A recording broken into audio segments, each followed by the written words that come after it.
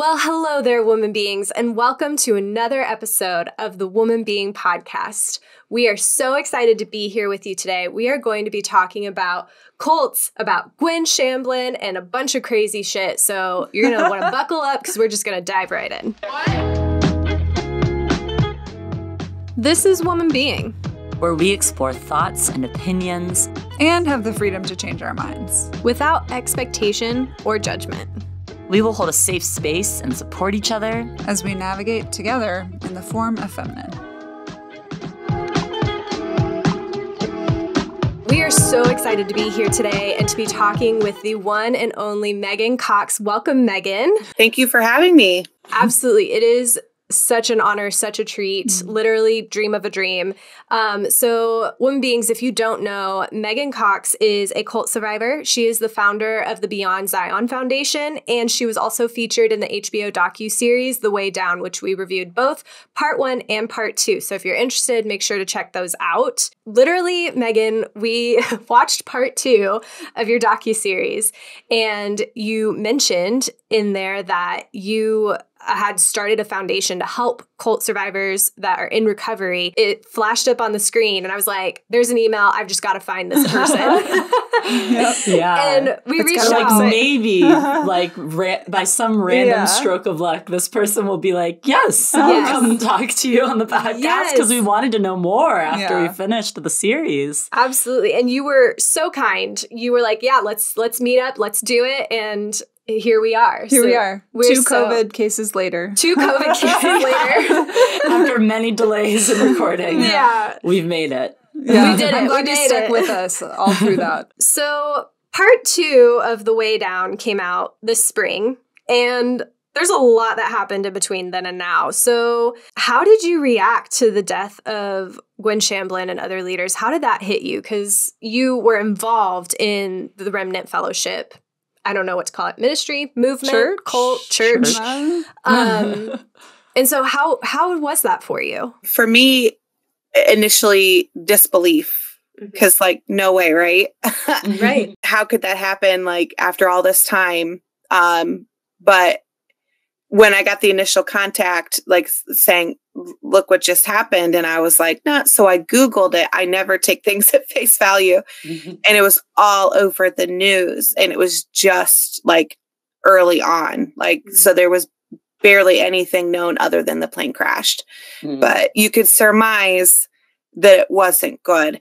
And I, I, I think I might have stated this before, but I did get emotional um, not for Gwen, uh, but Jonathan and Jessica Walters, you know, I knew. I knew David Martin and his wife Jennifer, and I knew Brandon Hannah. but the the first thought to mind was, you know, I got emotional for them because they they were out of all the people I, liked I liked them a lot. You know, they mm-hmm. seemed very genuine to me. I even thought Brandon Hannah seemed genuine to me. Now that's just my perception and opinion.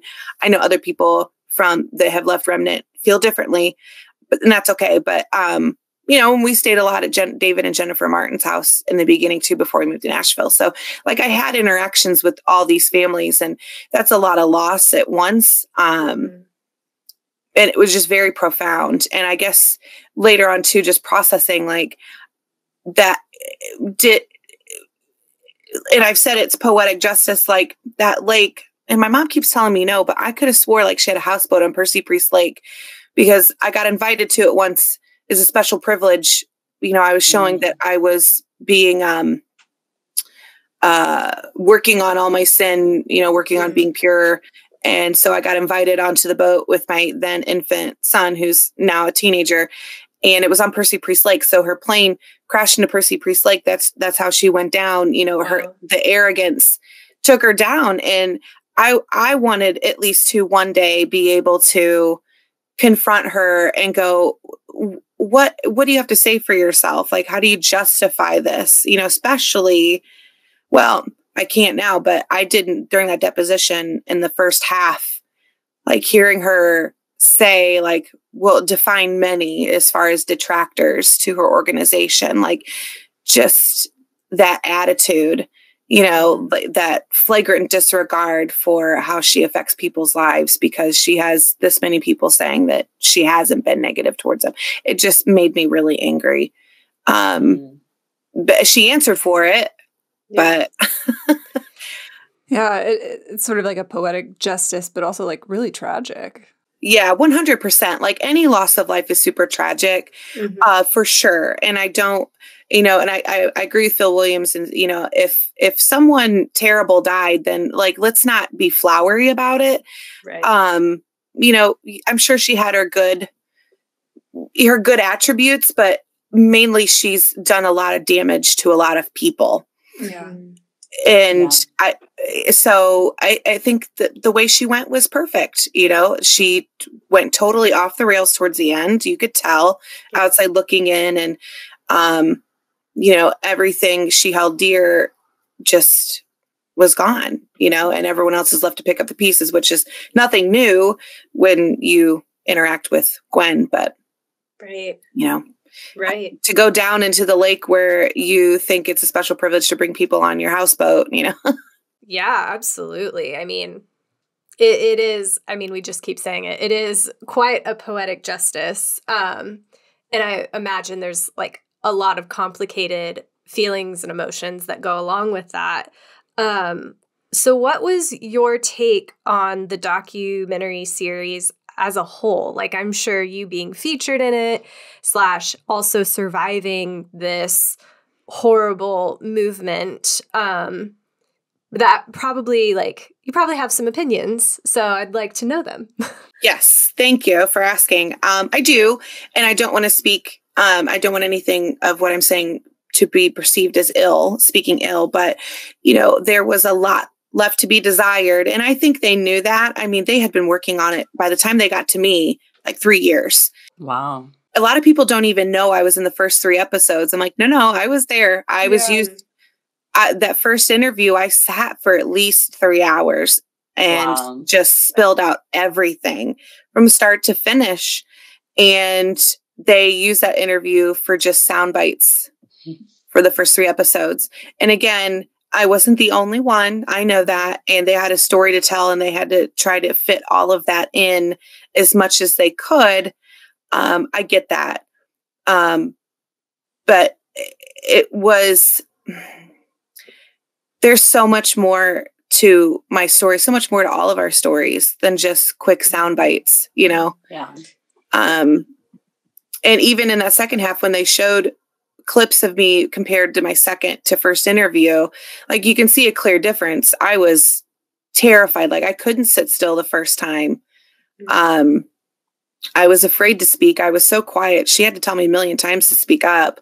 And the 2nd mm-hmm. time I was cursing up a storm left and right. I wish they would have actually kept my whole tirade in because they asked me what I thought about Remnant's statement to the docu series, and I said, mm. "Are we allowed to curse?" Because I didn't know in the beginning, and I tried to, you know, like quote unquote behave, and um, I think she said yes, and so I just went off, and I got mm. really angry, and it was very visible.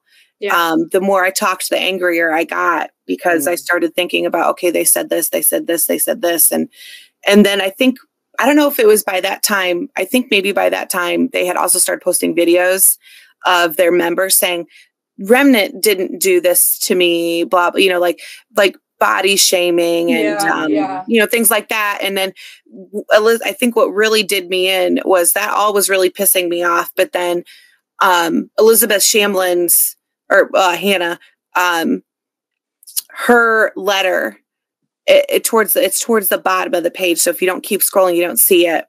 Just that's what really that's what really got my goat. Mm-hmm. Um.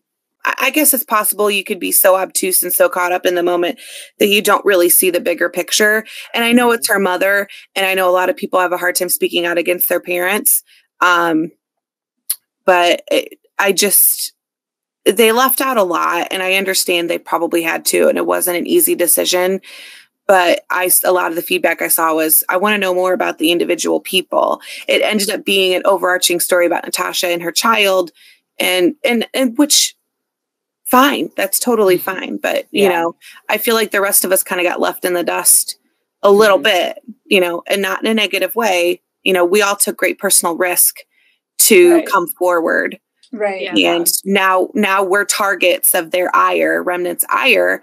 Mm. If, you know, so maybe that's another reason why I keep speaking up too, is because people want to know, so I'm going to tell. Yeah, I mean, there's so many factors that go into that when you're making something like a docu series on what stays, what goes, what winds up getting cut, what makes the most sort of entertaining or cohesive story to like you know at the end of the day they are trying to create entertainment you know mm-hmm. like they're making a series for hbo mm-hmm. um and so and if they're taking hours and hours of footage oh it's like obviously they can include all that raw and edited mm. interview but i'm sure there's so much good stuff in there. Um, and also i'm not sure if we told you this but you can definitely curse on our podcast. so we will do. not cut swearing preferred. beautiful um, feel free. Um, but uh, i'm curious to hear from you specifically like um, some of the things that uh, maybe you you wish had stayed in the docu series, or some of the things that uh, you you want to express that you feel like didn't get expressed uh, during uh, what was shown of your interview. I wish that they would have included the last time I went back to Remnant with my child mm. and what why I had to leave. That mm. wasn't included, and I think that I understand they really wanted to drive a point home, and I think that they did. You know that that remnant is a cult, and it is it is not a good thing, and their their um, motives it, it are not good. There, there's it, it becomes like it becomes worse because individual members can misconstrue the message to fit their own agenda and their own narrative. And while they did tell that in certain ways, I think like in how it worked in marriages, they didn't really, I mean, and they did kind of like Jacoby when she talked, they touched on like, you know, how she gave up things. But um, I kind of just wonder why, why, if they're going to let those other people come forward and say, like, why didn't they include mine, you know? Mm. I, but but again, I can I can't bite the hand that feeds because they did put forward the Beyond Zion and like they didn't have to do that at all. A lot of people didn't even know why I left. They of course they were told something different. They or they wouldn't they wouldn't tell people why I left. Yeah. They would say it's it's not for you to know or it's you know whatever and they tell people I left to run off with a boy and get married and that's not the case Ugh. although it looks like it but no I fled. I had to flee. Yeah. Yeah. You know? Would you be willing to briefly give us some of that story of why you left and um, yeah. we want to want to hold space for that here for you? Well that, that's what we're here for you know it's like hearing stories that people said we want to know you know this is like a tell-all with megan cox it feels yeah. like, like ooh I spent a lot of my life split between two households. Um, and in my mom's household is where Weigh Down Workshop and Remnant were introduced. Um, my dad's household was a whole other bunch of mess. Um, and so growing up, food or was always controlled. Like my dad and stepmom didn't like me being chubby. So um, they would control what I ate. There was a lot of control with mm. what I ate, how I did my hair. Like I really wasn't free to explore um, who I was. I wasn't encouraged to find who I was or be creative. Um, it was all kind of decided for me, or it was just, it's hard to explain. Like, I was a very isolated child with my dad and stepmom. So, some could say I've probably had daddy issues um, in the past, which I have. And mm. I just like, I remember being so hungry as a kid eating out of the trash can because they just, they just didn't want me to be fat. Like, they would talk mm. about like drinking lots of water and eating fruits and vegetables. And doesn't it feel so good to be skinny and healthy? And I'm like, yeah, I guess, but I also don't want to be hungry. Yeah. So that's created issues for me. You know, like I'm still like almost 40 years old working through um, being afraid to have hunger pains because mm-hmm. I've spent yeah. all my life starving to, up sure. to a certain point, you know? So yeah. then when I moved in with my mom, she had my youngest sister, Brianna, in 96. And she discovered, I'm not exactly for sure how the Weigh Down Workshop worked her its way into her life, but it did. And she started doing it, and we all kind of participated one way or the other. And you know, if mom's doing it, we're all kind of doing it. She was the leader of the household. And, you know, it made sense. I didn't understand the God part, but mm. it made sense to me what she was saying. And I wanted to know more because I was so, I just was seeking love and acceptance and approval so bad because I didn't feel that I had that from either one of my parents. I was abused as a child, you know, in so many different ways. Um, including sexually by family members, and they didn't believe me. So I was desperate for anyone just to love me. And so if this meant getting my mom's love and approval, I was going to do it. And so I did, and I tried my best to understand church and and having a relationship with God and applying what Gwen said. We even went to some of her Desert Oasis conferences um, in Nashville uh, when in the early days. One of them, we met Michael Shamblin. He was just starting to do his music then. Mom always wanted to move to Nashville after that point, you know, to be closer to Gwen and Weigh Down because it had made such a difference in her life. You know, she had lost weight. Um, she felt she was closer to God, and she even quit smoking um, as well. So it was really the the program was really working for her, and um, it made her happier, and it just overall generally it would work for the whole family like as long as we were applying it um the message and really talking about it and really trying to learn from gwen it, it was working so and that's usually how it happens right like mm-hmm. they come out with like you know something like some self-help or something that'll help improve who you are as a person and and fulfill you and make you happier. Because at the end of the day that's all we really want.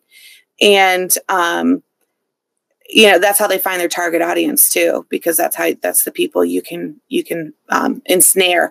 So mm. time goes on. I'm i'm a delinquent child. I'm not going to mince words on that one. Um, both my parents would agree that i definitely push the limits um, sneaking out uh, sex drugs all of it just being crazy. Uh, i barely graduated high school because of attendance and just lack of caring at that point. And you know and all the while being told what is wrong with you? Like your your siblings aren't like this you know and i because i was the only one who also challenged my mom too. Like i wouldn't always take what she said or did. Like i would sometimes stand up for myself or challenge her back. And you know that's not eh, that was how i was raised like how remnant teaches you to be i was already being raised that way and conditioned and it's my mom didn't do that on purpose. That was just how she was raised and conditioned. And same with my dad too.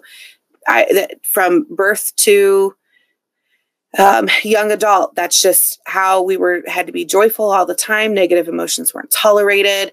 Mm-hmm. Your autonomy is not yours. You do what I say. You be the person I want you to be. Um, you dress how I want you to dress. You listen to what I want you to listen to. Mm. You know, um, it was very frustrating. I I had a lot of mental health issues that I wasn't aware of, and it could be either a genetics or B because of the sexual abuse and the mental and emotional abuse. I mean, who knows?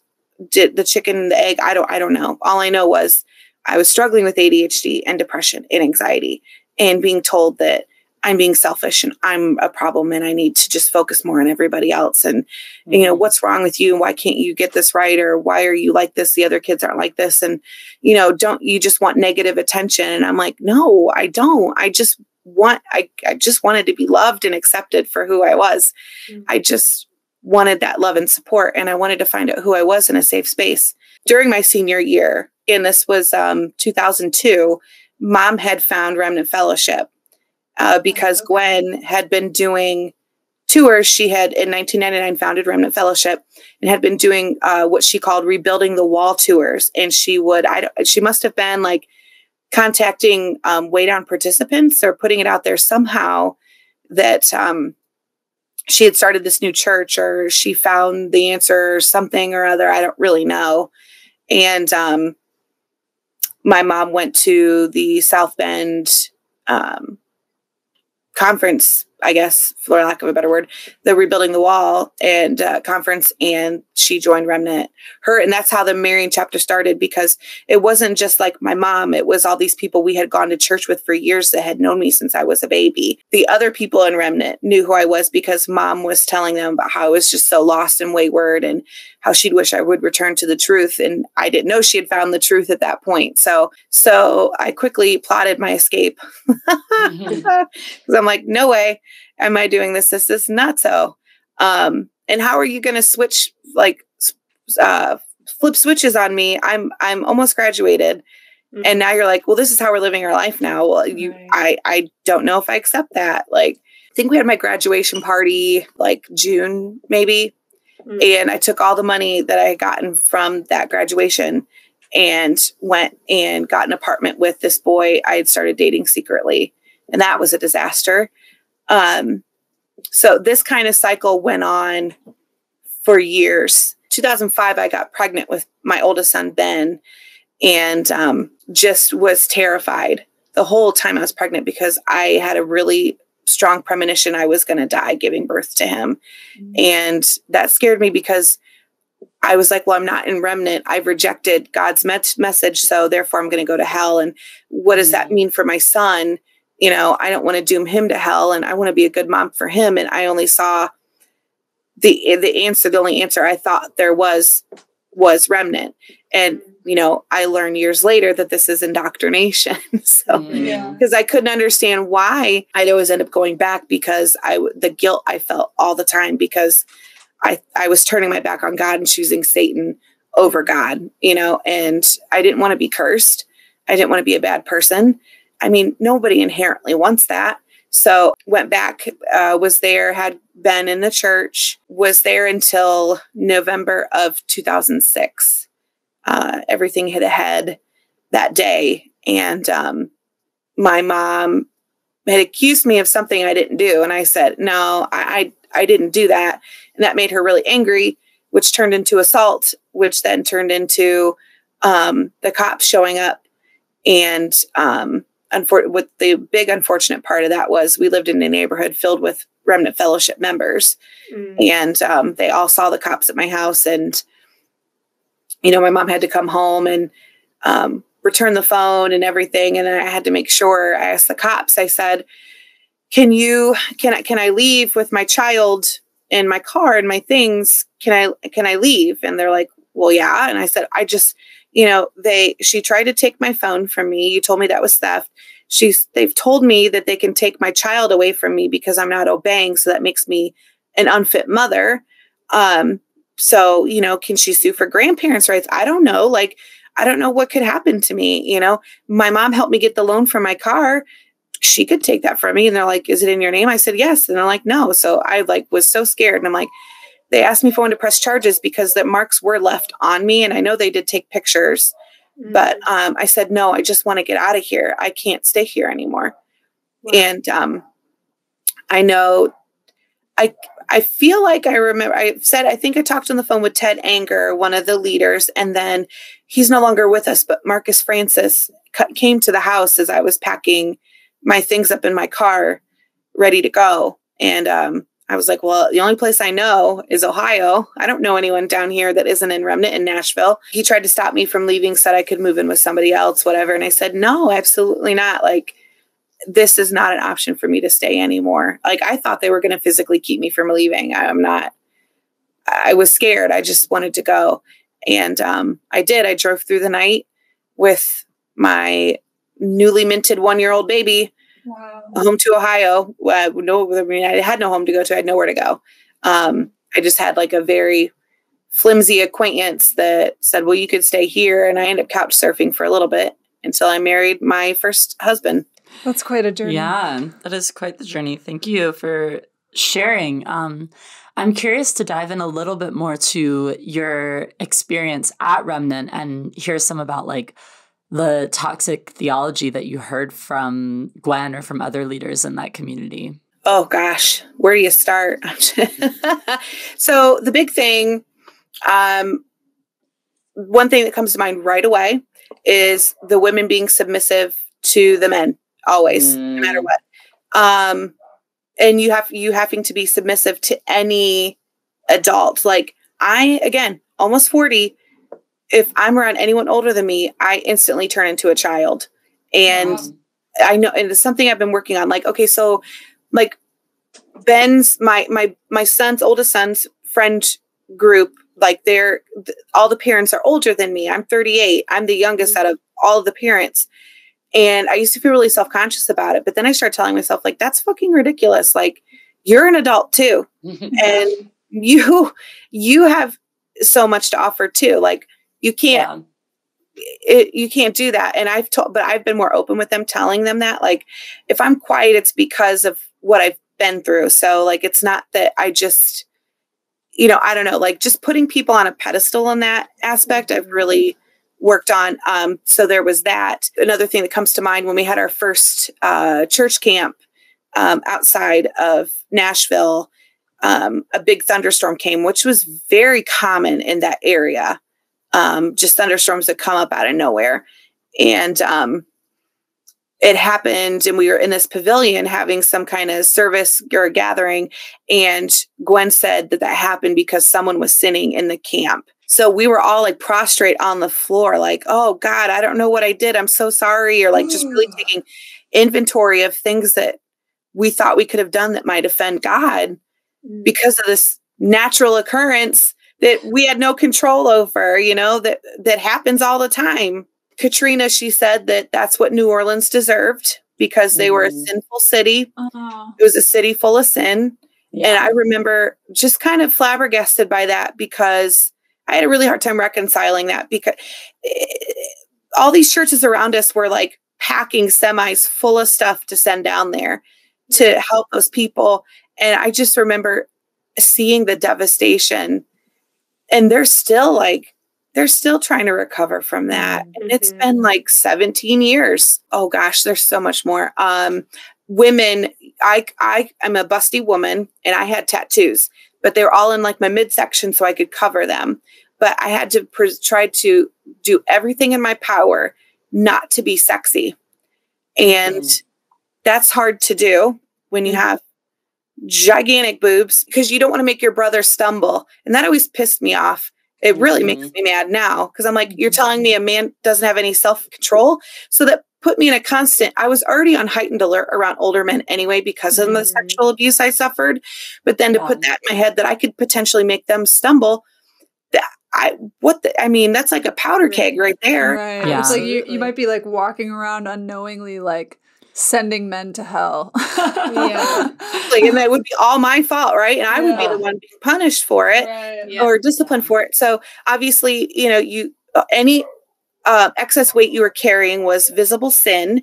So one mm. service Gwen gave, um, it was kind of like uh, I think she might even have included excerpts from the Butterfly Effect, that movie with Ashton Kutcher. Uh-huh. Um, you know, and saying that um, if we decide to be our own ruler and you know make our own decisions and take one bite over full um, that could cause someone else to sin and it's a domino effect. And then something happens on the other side of the world and that's your fault because you chose to sin instead of putting god first. Oh and i was like I was terrified. I remember writing that yeah. down going, don't do that. Yeah. yeah. Wow. Like the pressure. Yeah. Yeah. It's so much pressure, but also at the same time, so much like narcissism at the idea yeah. that you're, yeah, you're affecting things all over the world like that. Mm-hmm. Um, and like this over, I think over like spiritualization of something like of very normal occurrences. Yeah. Right having an extra bite of food. You know what I mean? Like yeah. have an extra bite of food and people in There's a China die. yeah, like wow. but also those people deserved the tsunami. It's like, wait, what? Like, what are you saying? Yeah. And I'm, right, I'm, exactly. Like so terrible, right? Like, right. where's your humanity? Mm. Yeah. Well, I'm also wondering how would Gwen determine what excess weight is? Because watching the documentary and the um the footage we did see of her, she seemed to be naturally a very thin woman who also just didn't eat a lot from mm-hmm. perception. And I'm like, so wait, are you saying everyone needs to look like you in order to not quote unquote be carrying excess weight, showing your sin? I'm like, how is that even gauged?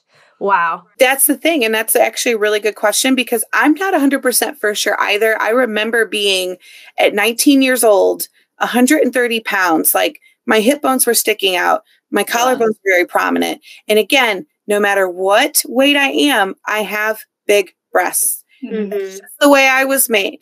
And yeah. they, Karen Sims, Sue Ruth, even my mom at one point all said to me, How much more weight do you have to lose? Because, oh. yes, because um, Sandy Sheridan's daughter, Abby McDonald, moved down to Nashville and she lost more weight. She had already lost a bunch of weight, but she lost more because she was cutting her half and half. Oh so she was eating a quarter of her food. And that was like the joke, not joke. You cut your half in half. Like it was a joke. Like it eventually permeated through oh, no. other chapters, even before we moved down there in 2005. Yeah. Wow. That's so awful. I know. I mean, rail thin. Like, oh, look at Elizabeth, Elizabeth now. Yeah. Oh. That's it right there. She's that's the ideal. She She's emaciated. Yeah, it's terrifying. Like you can see like her skull. And yeah. it's quite scary, honestly. Yeah. And like I understand there's a lot of health issues that go into potentially being that thin or whatever, but f- based on what the documentary showed, it seems that she's choosing to be that way. And I'm like, girl, that's that's dangerous. That's scary. Yeah. Right. I 100% agree. I mean, to any it, to any angle of it is so dangerous. Like where I'm at now with my um with my journey, I have type two diabetes mm-hmm. and I have high blood pressure.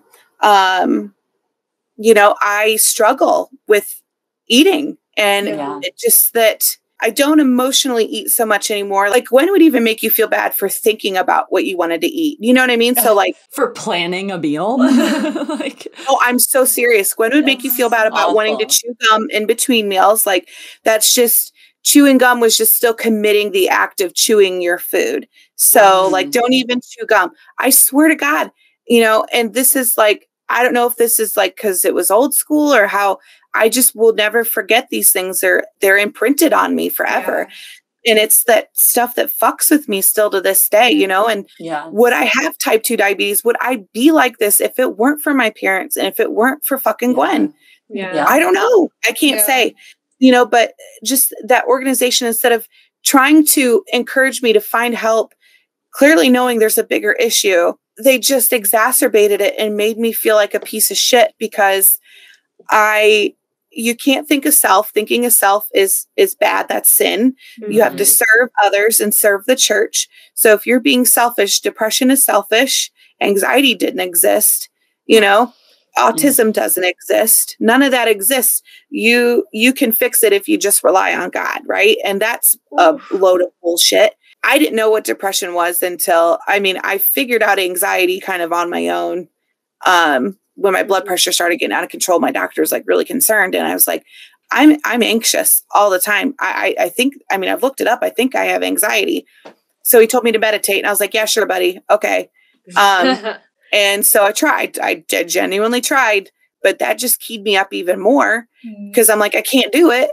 And um, so finally, he put me on Lexapro, and uh, the the peace that I felt like you know, my husband's like, maybe you can come off of it. I said, never for anxiety. Absolutely not. Mm-hmm. I'm just an anxiety. My whole being is just like sometimes even on the anxiety meds, like I still get anxious. That stuff sticks with you, you know, yeah. like, and it, it, it's like, especially, you know, in your sort of formative years, being subjected to all of this, like, clearly toxic, untrue way of looking at the world. Like, you're kind of programming your brain to think a certain way and to kind of like pull yourself out of that.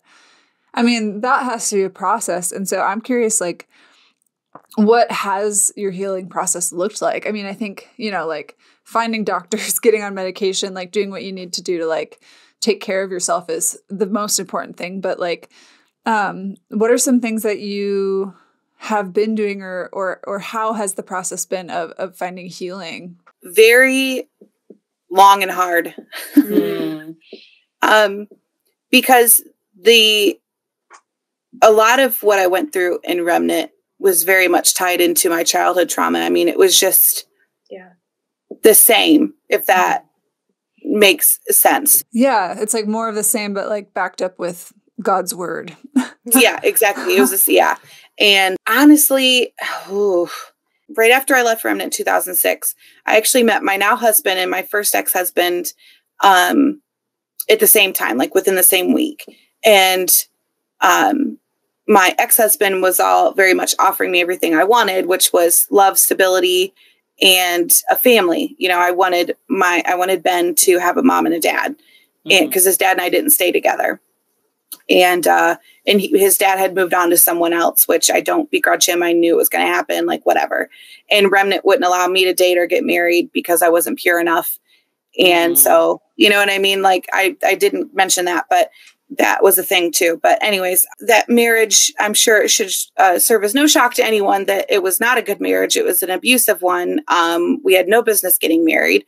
Um, it was very much like I thought it was so romantic that we were going to get engaged and married right away. And he loved me so much, and it was a goddamn nightmare. Um, absolute nightmare. It wasn't physical right away, but it definitely didn't take long. And um, he was a prick, but I wasn't innocent either because I was really damaged and sometimes I just made it worse, you know? So um, he had me arrested for domestic violence. So I put my hands on him. I fought back and, you know, that's never okay. But I got thrown in jail for nine hours, worst nine hours of my life, and got out and said, I, I need to figure this out. This is not okay. So went to counseling on my own. I had to fill out a questionnaire and she knew right away as soon as I walked into her room, you suffered from sexual abuse and everything and blah blah blah and i was like oh my god how did you know and i completely lost it because that's not anything i'd ever faced before mm-hmm. um, i thought i was lying about it you know i was told i was mm-hmm. lying about it mm-hmm. and you know um, that all i do is lie i just so that was um, nice to hear for once you know that's yeah. i was i was just shocked i'm like wait so you a stranger can tell that but my own parents still deny it to this day mm. that it happened. I only did that for a little bit because I was a single mom. I had to move back in with my dad and stepmom, so I didn't have any money and thought therapy was for fancy people with money, and that wasn't me. And yeah. as much as I knew I needed it, but the sessions I did have were very helpful. You know, she had told me something really profound that I had never heard in my life before that um, just because they're family doesn't mean you should allow them to hurt you. Mm-hmm. And I was like, mm-hmm wow, that's actually really smart. Because mm-hmm. after I left in 2006, my my mom and stepdad, my siblings stayed in Remnant, so there was still that manipulation going on. If I did speak to them, and there was still abuse going on through my dad and stepmom. Like they would make me think I was some psycho. It took a long time. Like I did a lot of self work, being with my now husband and taking time to really take inventory of what I am responsible for and what are the consequences of my own actions. What mm-hmm. could I have avoided that I could have controlled by making a different choice? You know, owning my part in things and and really trying to work through and and try to approach situations more calmly instead of trying to be combative with everybody. How about, you know, I try to find a way to speak my piece in a way that can be heard instead of resorting to anger, you know, mm-hmm. getting my emotions out, talking about my feelings um, it was a very slow, slow process. Like I finally found a counselor locally that dealt with um, trauma and things like that. So um, that was right about the time I people actually started wanting to hear what I had to say about Remnant, mm. and I was like, I should probably go get in with somebody and have like a solid foundation yeah. um, if I'm going to start opening up this can of worms. But I will say a lot of it started with me just saying out loud to people, I'm a sexual abuse survivor. I'm a, I'm just I'm a survivor of things, all things. I suffered it. Yeah. I've survived it. I'm doing my best. I'm making the best choices I can. I'm really thinking about things like I was always trying to read and figure things out. And my husband's been very great, you know, teaching me. Um, he's been a very great influence on me. Um, does he trigger sometimes some things? Sure. I mean, it's marriage. We've been together for like a million years. So old habits die hard sometimes, but we're working on it. You know, he drives me up a wall. I do the same, but we've really come a long way, even in our relationship too. Like this is the first healthy uh, relationship I've had, and thank God I'm married to him. You know. yeah. Yeah. But it took a long, long time. I'm like, oh, so I'm not a nut job. If you treat these things wow. and talk about these things, it's fine. And I don't feel a, the slightest bit of guilt. I'm like actually mad that I was kept from this stuff it, has been a it's been a long, hard journey, full a lot of hard uh, lessons, life lessons, and taking long, hard looks at myself and going, "Am I the problem?" Because sometimes you end up repeating like the generational trauma, like the generational abuse, mm-hmm. you know, and I told myself I wouldn't do that. Mm-hmm. And I did find myself repeating some of those things. And I started, I found myself um, mimicking things in my marriage and relationships that my parents would do. Mm-hmm. And um, they, some people call that like uh, in the Reddit, the subreddit nar- raised by narcissists, they call that fleas. So you do adopt traits mm-hmm. of your abuser. Mm-hmm. Yeah. And I didn't like that at all, but it was mm-hmm. true. So that was tough to kind of look inward and go, ugh, God, like, yuck. But the difference, you got to take accountability for it and move forward. Yeah, it's yeah. not pretty. It's the ugliest journey I've ever been on to become a better person and mm-hmm. to heal from all this. But I'm grateful. Not everyone gets this chance, you know, or I have a lot of privilege. Yeah. I mean, you have so much to be proud of yourself for. Thank like, you. I agree. In, in, in, the steps you've made and, and the things that you do. I mean, like it's it's so hard to accept that you need help and yeah. To find that help and to you know mm-hmm. to depend on people when when for so long you've been in survivor mode you know? Yeah. That was pivotal for me. I had no idea i was living in survival mode and it took me a long long even after i figured it out it took me like at least a couple more years to finally get out of survival mode. Thanks megan for sharing all of those things and like your anyone's healing journey is nonlinear and takes so many different paths and turns. And so um, it's fascinating to hear about the the aftermath and um, the pain that comes from all these different forms of abuse including the spiritual abuse from a place like remnant fellowship and that theology that that sort of seeped into your family and your mom's side. Um, so i'm curious to hear coming coming off of that a little bit about um, Beyond Zion, which uh, is the foundation you created uh, as a result of all of this, uh, and hear about sort of what you all. Um, what you what you do what kind of what kind of work you're doing and um, sort of the the mission behind beyond zion oh thank you for asking so i was filming in LA for the HBO docu series uh, in I think it was March of 2021, and they had said something that just kind of was very profound to me that all of the survivors of Remnant are so scattered. And a mm-hmm. lot of them don't have contact with other survivors. I was at the point where I'm like, I'm ready to get this all out. Like, I, I can't hold this in anymore. It's got to come out. And just knowing that people are out there doing this on their own, you know, even for me, like I, I, guess my goal is to just be that person I needed over 15 years ago.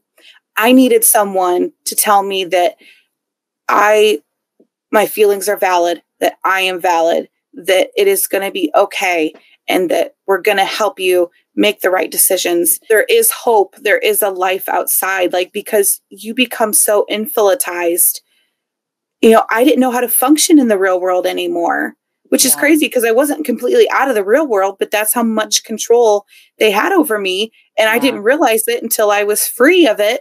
And then said, well, oh shit, you know, what do I do? I, I don't know. Like, what is this? What is any of this? Like, I knew you had to have a job to pay the bills, but mm-hmm. everything else I was blissfully ignorant to.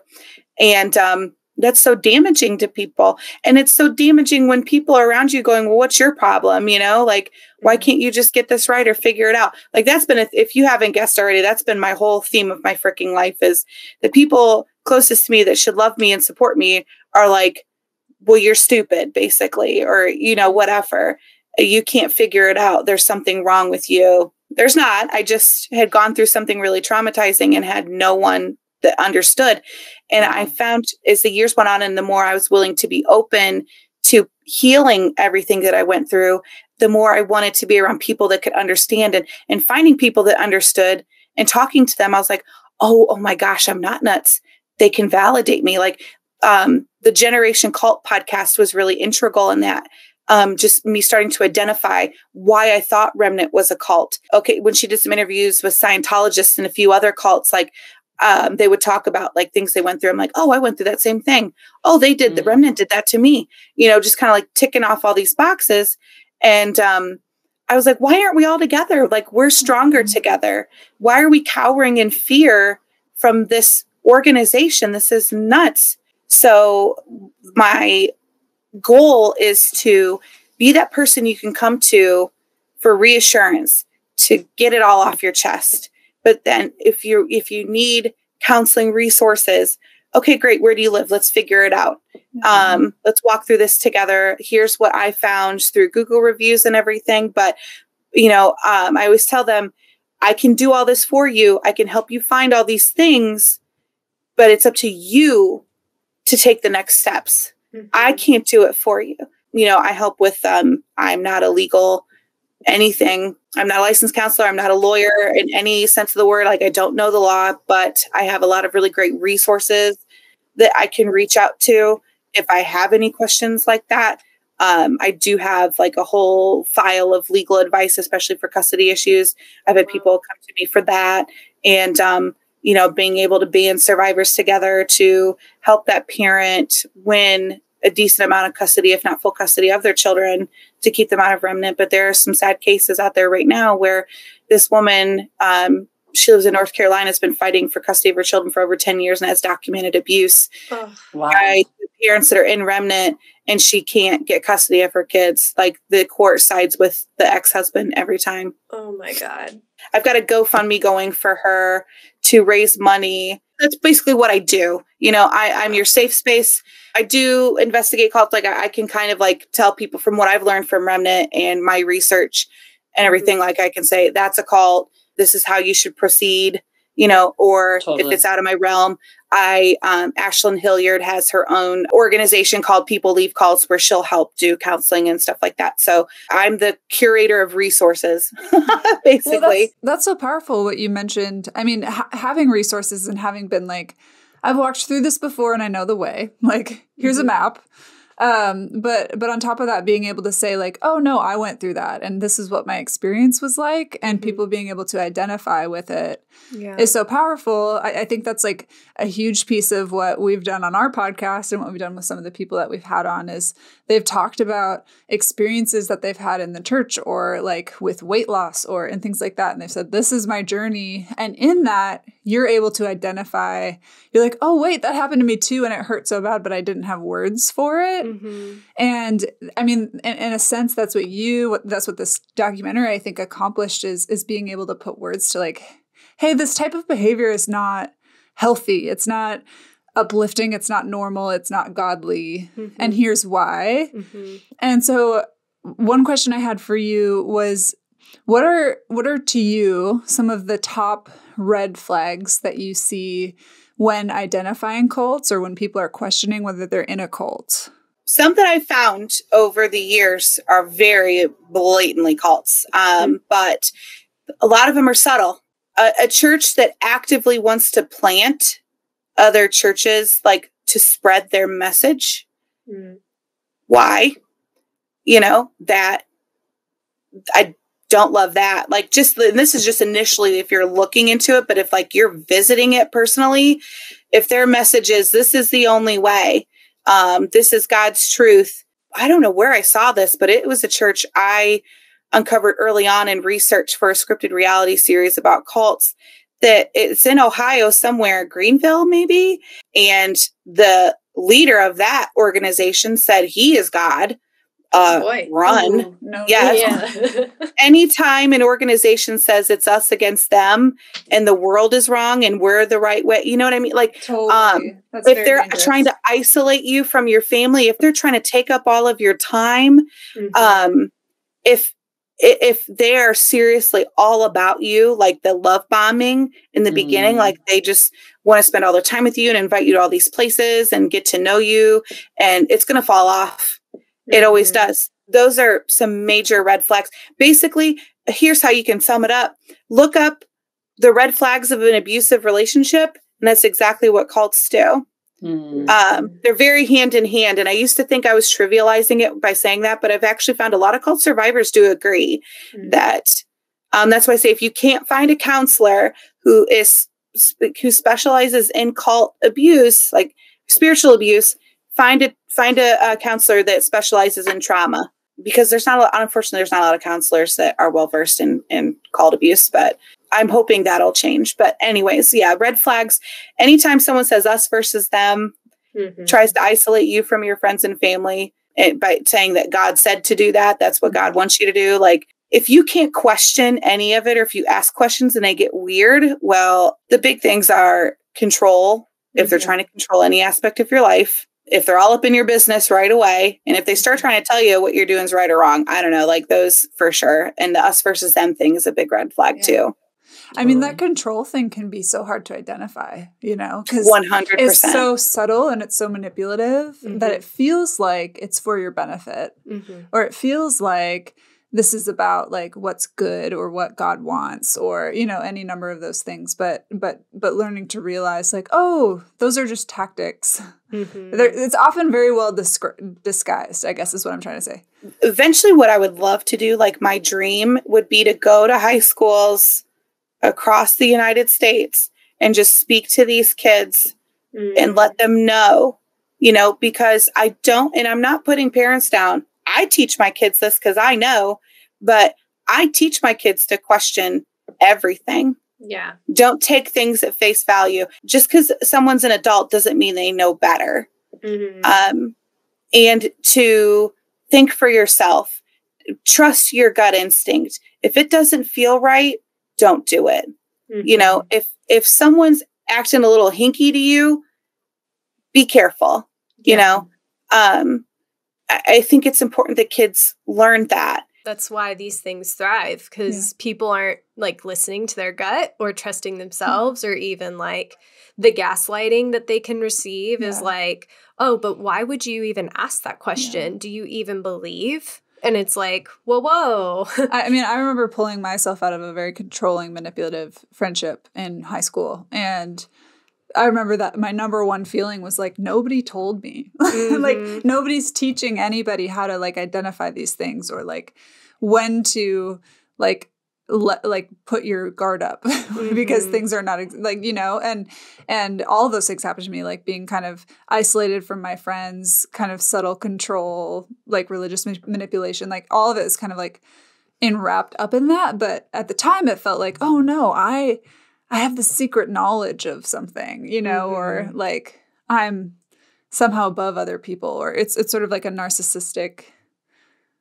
way of looking at life. Mm-hmm. That I mean, anyways, yeah. So all of that being said, thank you so much for sharing. That's really powerful. Yeah. And I think really helpful for other people to have. I mean, a lot of our listeners are either active in Christian communities, deconstructing or post deconstruction. And so I think those things are really helpful to have like on your mind as you interact with different faith leaders or even your own family, friends, people in your circles. And so those are good tools to have in your tool belt, I shall say. But kind of going back a little bit to Remnant we're in the aftermath of the documentary, right? We've got more and more people coming forward, like yourself, resources coming up, like the Beyond Zion Foundation. I mean, it feels kind of like everywhere you look, something's going on, but Remnant is getting very quiet um, in some ways. Uh, Elizabeth has not left her home uh, that we have been able to find for quite some time. Um, and Gwen is no longer with us, the leader. So I'm curious to know, in your personal opinion, Megan, where do you think this is all going, right? Like, tell us your theories and what you think is next for them because it's really hard to tell at this point. Like, it, it's kind of like a sealed off, like, happy facade that no one can really penetrate. Yeah, and they've always kind of kept it that way.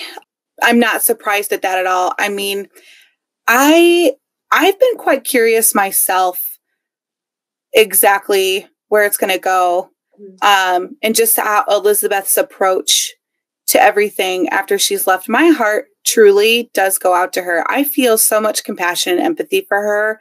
Her losses have been unfathomable. Yeah. She's buried a child, she's buried her husband, she's buried her mother, mm-hmm. you know, and her brother has left the organization her dad's not in it. Like, I don't want Remnant to continue. Like, that's not my want.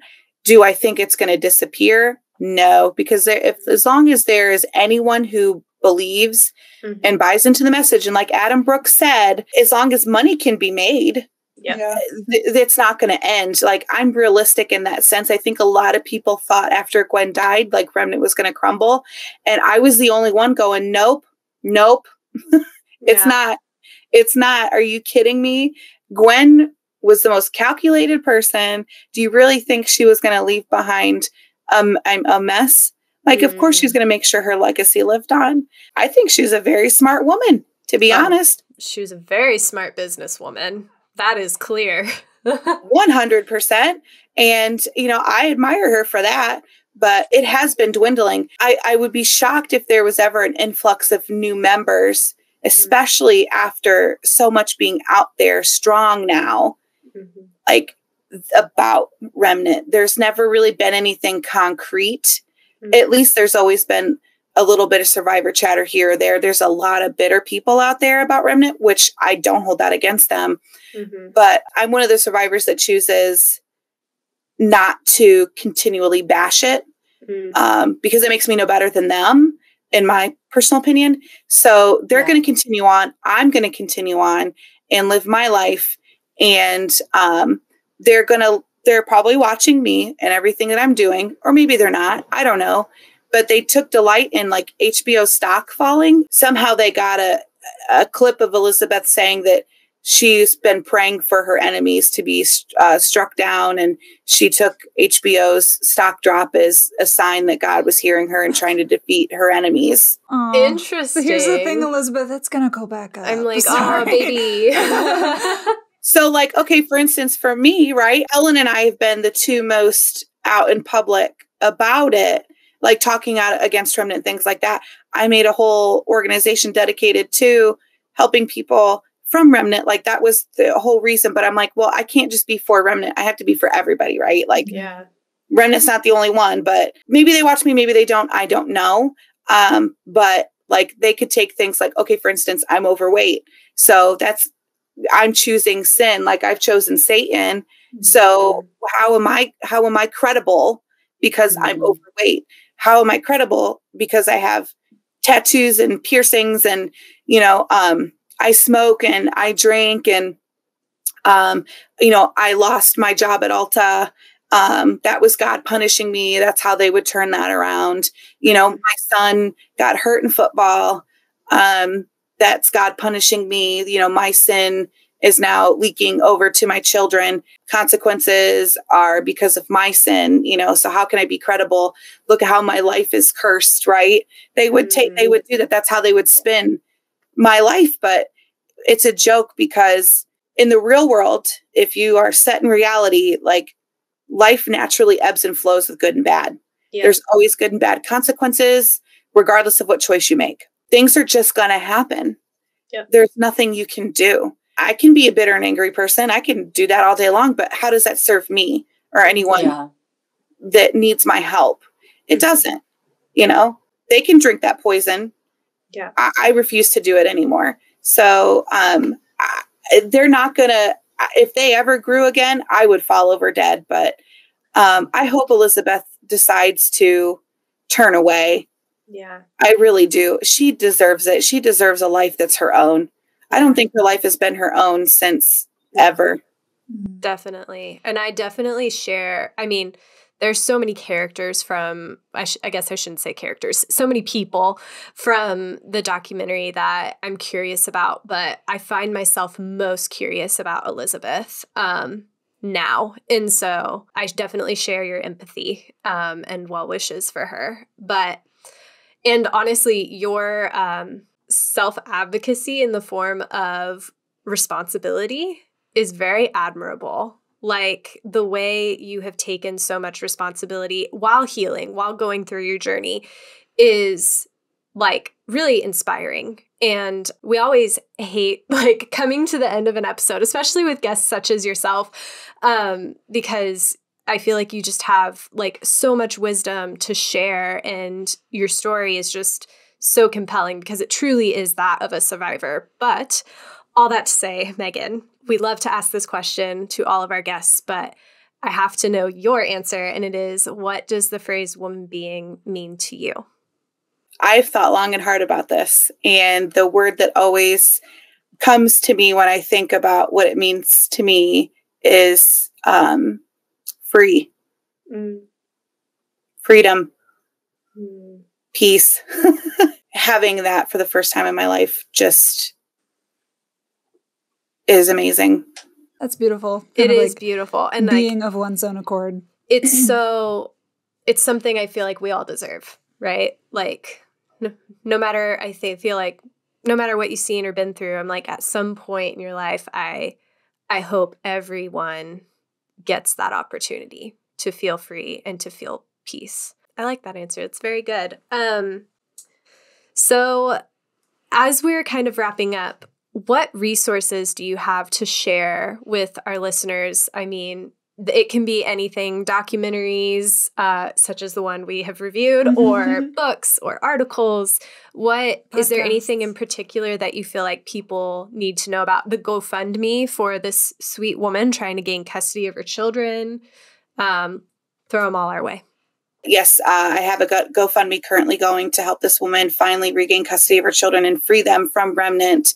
Mm-hmm. Um, I do. I did outline in it that I because the, their children are minors, I've kept everyone's identity. Like I have to keep it under wraps. Yes, um, absolutely. Yes, it's important, you know, because I also don't want Remnant to get a leg up on it either, you know, so they, mm-hmm. I mean, you know, uh, but uh, besides that, um, anything by Dr. Janja Lynch or Lalich, excuse me, not Lynch, Lalich. Janja Lalich is amazing. Uh, cult, Cult News 101, fantastic resource. ICSA, International Cultic Studies Association they have so many wonderful, they do conferences. They um, have so many wonderful resources as well.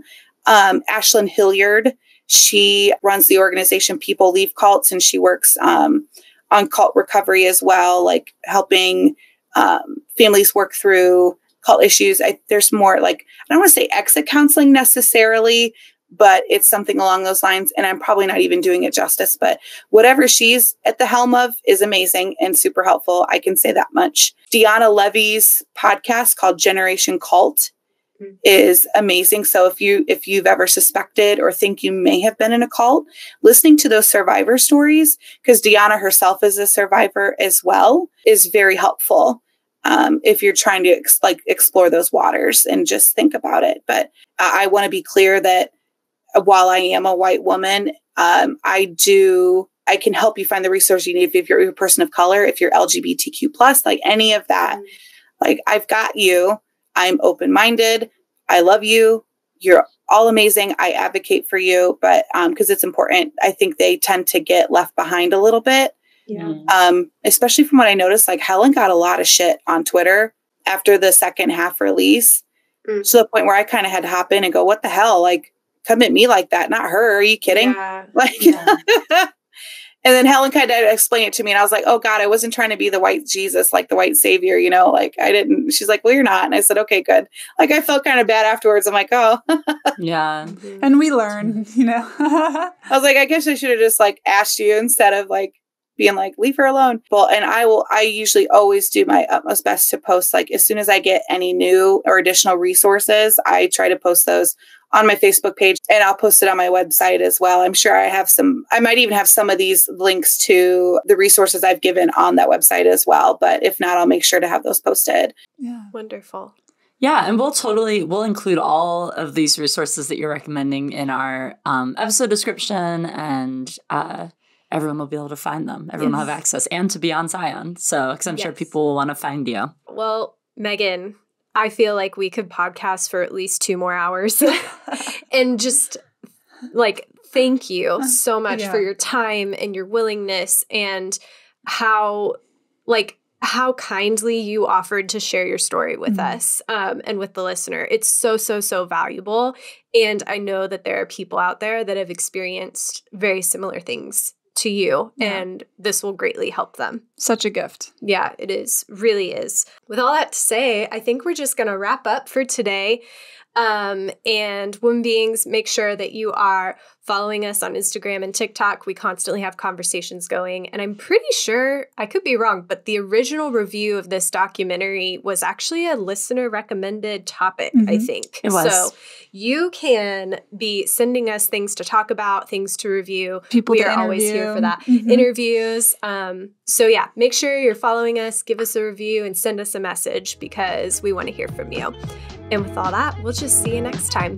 Bye. Bye. Bye. Bye.